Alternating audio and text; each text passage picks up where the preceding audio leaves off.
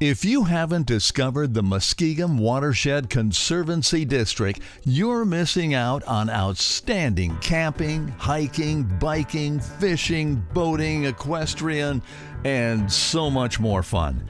Eight campgrounds, 10 lakes, and all in the state of Ohio. We stayed at Atwood Lake, and as you can see, the sites are roomy, the views are outstanding. There's plenty to do, including just kicking back by a campfire. There's even a lookout tower that you can hike to and climb up for a great time. There's a beach, lots of areas for kids, plenty of pavilions with all the fixins, and they are pet friendly. Best of all, it's clean, well maintained, and quiet.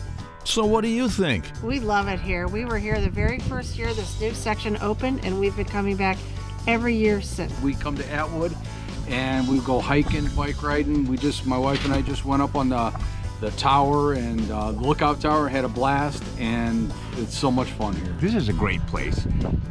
Great sights and also if you want to rent a pontoon boat out there, it's a really fun time. I myself love being near the lake. It's absolutely gorgeous. The sites that are backing up to the lake are very much appreciated. I love the um, concrete pads are so nice and wide and it's so clean you don't drag any crap into your camper. The Muskingum Watershed Conservancy District is celebrating their 90th year. The history is amazing. For more information, check out their website at mwcd.org and get off your butt and get out there.